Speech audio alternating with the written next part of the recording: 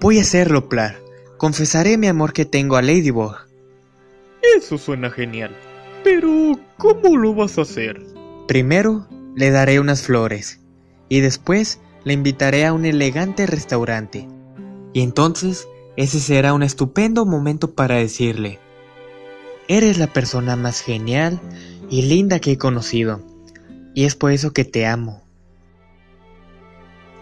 ¿Sabes qué? Eso suena extremadamente gaseoso. ¿Qué? ¿Fue malo?